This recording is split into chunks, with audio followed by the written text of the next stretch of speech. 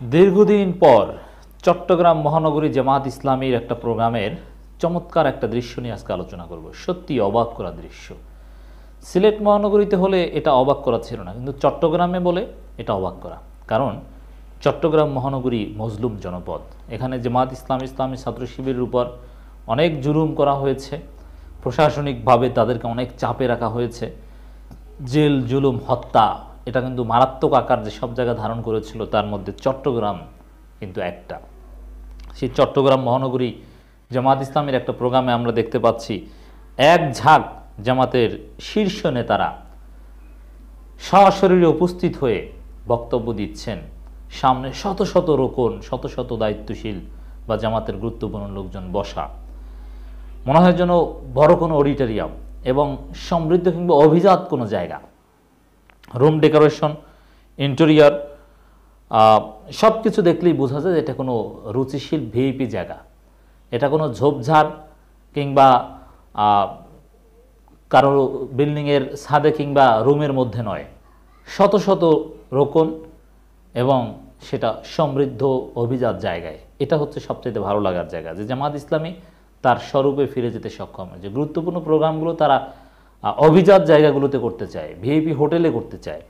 এটা দীর্ঘদিন পর্যন্ত চট্টগ্রামে অকল্পনীয় ছিল যে এত বড় নেতারা একত্রে সশরীরে আসবে এবং এরকম কোনো গুরুত্বপূর্ণ অডিটোরিয়ামে সাধারণ গোছানো পরিবেশে প্রায় সমস্ত রোকনদের নিয়ে এরকম শিক্ষা শিবির করতে পারবে, এটা অকল্পনীয় ছিল। সেটা কিন্তু সম্ভব হয়েছে। দর্শক, আমরা খবরটা আপনাদেরকে জানিয়ে দিতে চাই। চট্টগ্রাম মহানগরী জামাতের রোকন শিক্ষা শিবির অনুষ্ঠিত। দেশ ও জাতিকে সঠিক নেতৃত্ব দেওয়ার জন্য শত যোগ্য নেতৃত্বের প্রয়োজন। ডাক্তার সৈয়দ আবদুল্লাহ মোহাম্মদ তাহের আরও কারা উপস্থিত ছিলেন। আপনারা বিস্তারিত জানতে পারেন এগুলো, এই সুন্দর দৃশ্য, এগুলো ছড়িয়ে দেওয়া উচিত। প্রচার করাই মূল উদ্দেশ্য, এটা তেমন কোনো বিশ্লেষণ নয়। বাংলাদেশ জামাত ইসলামের নায়েবে আমির ও সাবেক এমপি ডাক্তার সৈয়দ আবদুল্লাহ মোহাম্মদ তাহের বলেছেন, দেশ ও জাতিকে সঠিক নেতৃত্ব দেওয়ার জন্য কিছু সৎ ও যোগ্য নেতৃত্ব প্রয়োজন। জামাত ইসলামী একদল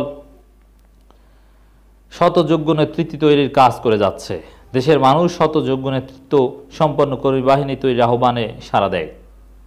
জামাত ইসলামী এদেশে ইসলাম প্রতিষ্ঠার জন্য এবং জনগণের অধিকার আদায়ের গণতান্ত্রিক আন্দোলনে অতীতেও বলিষ্ঠ ভূমিকা পালন করেছে।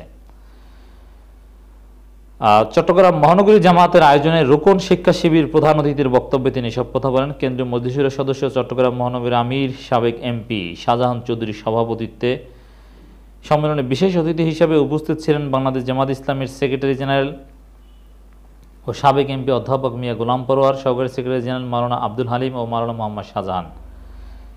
সাবেক এমপিদের মধ্যেই তো বেশ কয়েকজন ছিল জামাতের।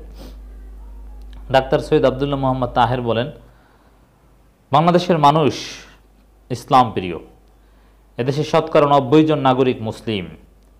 এদেশ ইসলামের জন্য উর্বর ভূমি। তাই জামাতের তৈরি করা নেতৃত্ব দেশের মানুষের গ্রহণ করতে প্রস্তুত মানুষ।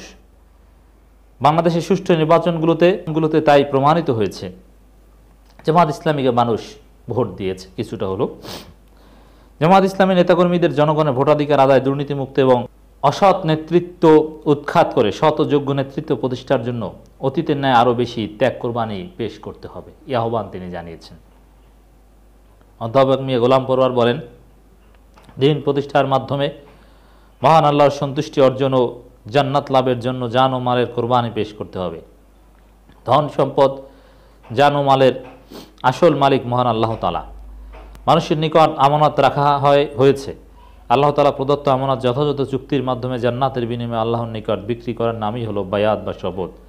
আল্লাহর সন্তুষ্টি ও জান্নাত লাভের জন্য জান ও মাল কোরবানির নামই হলো রকুনিয়াত। এই ত্যাগ ও কোরবানির মাধ্যম হলো জামাত ইসলামী। জামাত ইসলামীতে কেউ কিছু পাওয়ার জন্য আসে না দেওয়ার জন্য আসে। যদি পাওয়ার জন্য আসে, সে জামাতের চেতনা পরিবন্ধী কাজ করল এবং সে চূড়ান্তভাবে জামাতে টিকতে পারে না।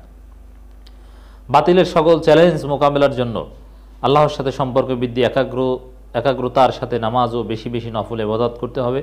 প্রতিরাতে আল্লাহর নিকট ধারণা দিতে হবে, আল্লাহর কাছে বেশি বেশি সাহায্য চাইতে হবে। ইসলামী আন্দোলনের শপথের কর্মীদের কোরআন বুঝে পড়া, আল্লাহর পথে অর্থবয় সহ আটটি কাজ করতে হবে। দুনিয়ার চাইতে আখেরাতকে বেশি অগ্রাধিকার দিতে হবে। আল্লাহর সাথে ওয়াদা করার পর তা ভঙ্গ করা যাবে না। ওয়াদা ও আমানত রক্ষা করতে হবে। জামাত ইসলামের কেন্দ্রীয় নেতৃবৃন্দের এই নসিহত আল্লাহ আমাদের সমস্ত মুসলিমদেরকে পালন করার তৌফিক দান করুক। এটা শুধু জামাতের জন্য না এটা সবার আমাদের মধ্যে এই গুণাবলীগুলো থাকা দরকার।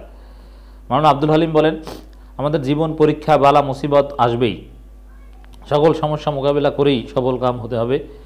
বিপদের সময় মুনাফিকরা হারিয়ে যায়, বিজয় দেখলে এগিয়ে আসে। বিপদ, মুসিবত মোকাবিলায় ধৈর্য তাওকুল অবলম্বন করতে হবে। ইসলামী আন্দোলন কর্মীদের উপর জেল, জুলুম, অত্যাচার, নির্যাতন চলবেই। আমাদের ধৈর্যের সাথে সর্বোচ্চ যান, মালের কোরবানি পেশ করতে হবে, তাহলেই আল্লাহ তালার রহমত পাওয়া যাবে। মোহাম্মদ শাহজাহানও চমৎকার বক্তব্য দিয়েছেন। যাই হোক, খুব উন্নত পরিবেশে প্রোগ্রামটা দেখে আমাদের ভালো লাগল।